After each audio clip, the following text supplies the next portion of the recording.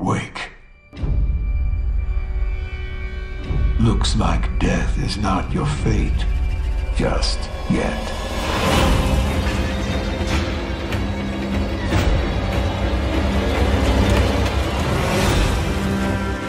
Some time has passed since I found you. Your master still lives. They'll soon make use of his bloodline. The limb you have lost will give way to something more useful. You'll learn to appreciate its worth.